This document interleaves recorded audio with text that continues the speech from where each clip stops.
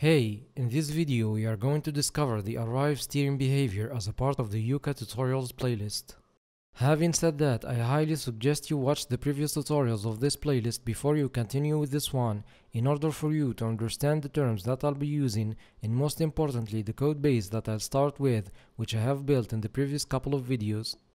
The Arrive steering behavior is almost similar to the Seek steering behavior the only difference between the two is that Arrive makes the vehicle entity reach the wanted position in a more natural way, and that's by decaying the speed of the vehicle when it gets close to the target entity.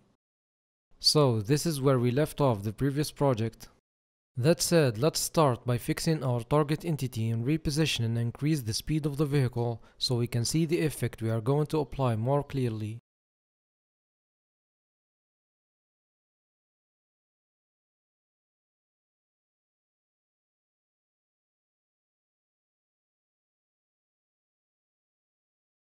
So as you can see, the speed of the vehicle remains constant until it reaches the target.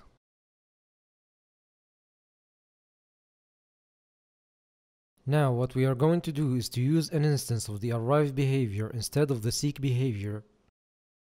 If we take a look now you see that the vehicle starts slowing down once it gets close to the target.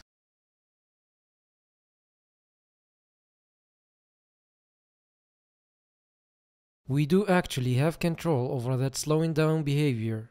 For example, we can trigger the decrease of the speed earlier than it is by default.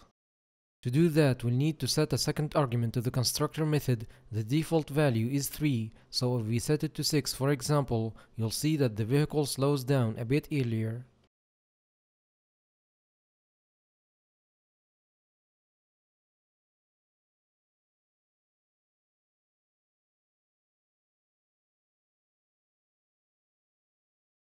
Now we can do the opposite, so let's set a lower value and see what will happen.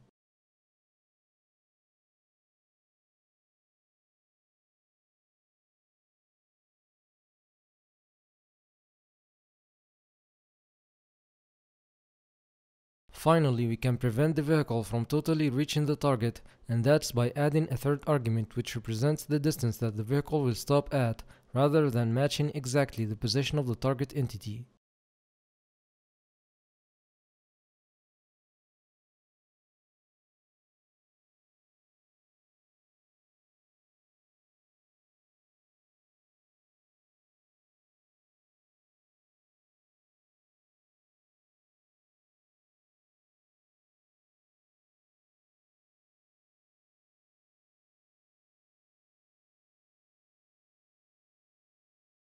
And this is it for this video, so make sure to like and subscribe and I will see you in the next one.